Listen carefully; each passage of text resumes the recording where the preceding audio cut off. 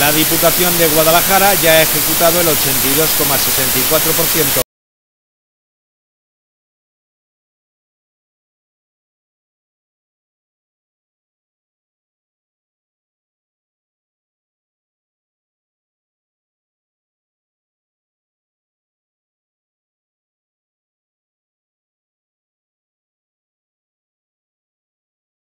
en el que las medidas excepcionales de lucha contra la pandemia elevaron el presupuesto inicial de la Diputación en 21 millones de euros. La vicepresidenta tercera y diputada de Economía y Hacienda, Susana Alcalde, se congratulaba de estos registros. La ejecución presupuestaria del ejercicio 2021 ha sido muy positiva.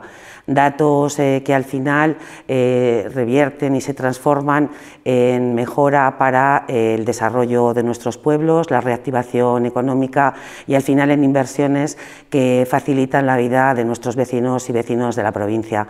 esta ejecución presupuestaria con ese porcentaje tan importante hace que tenga que agradecer, si, desde luego sin, sin ningún eh, paliativo, a todos los trabajadores y trabajadoras de la Diputación Provincial, a todos los servicios, que al final lo que han conseguido es que la Diputación vuelva a convertirse eh, a algo que no tenía que haber dejado nunca de ser, que es un instrumento útil para nuestros vecinos y vecinas de la provincia.